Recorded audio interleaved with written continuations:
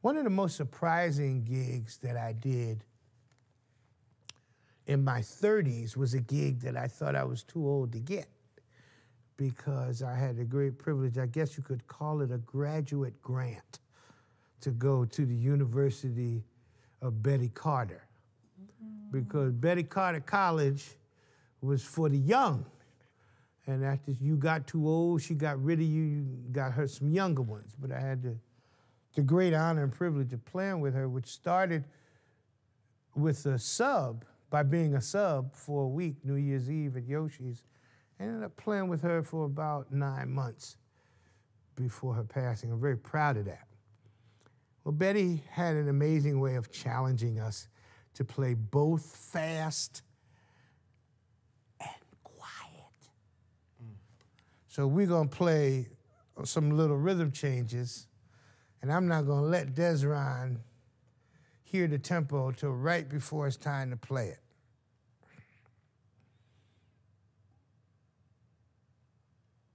One, two, one, two, three, four.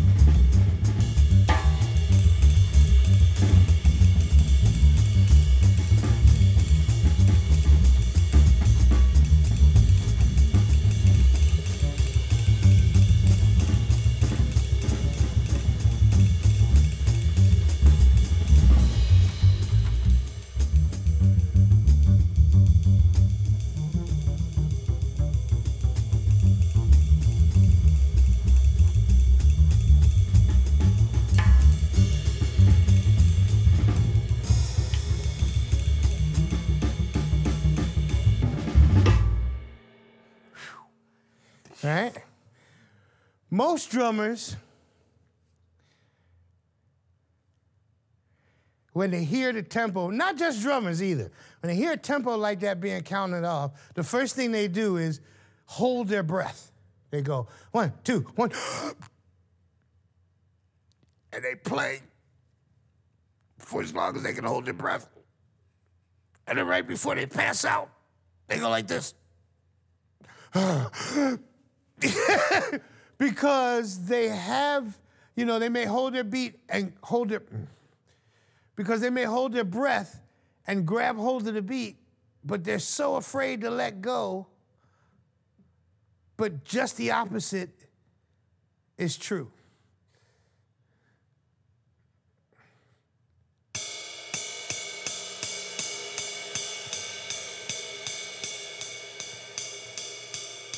This is a tempo that I can play all day. Very relaxed. This is all the mechanics, muscle wise, that I need to play this tempo.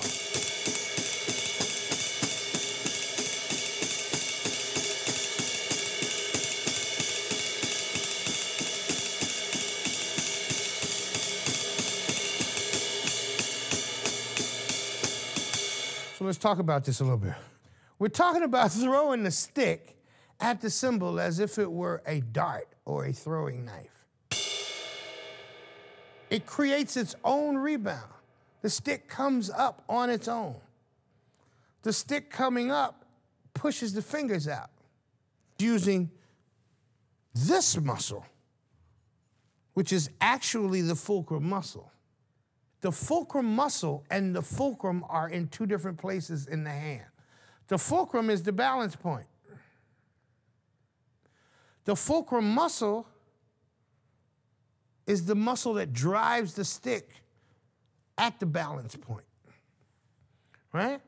So using your fulcrum muscle with your fingers to assist, you pick up, you let the stick bounce. Right? And uh, at the end of the second rebound, you just close your hand.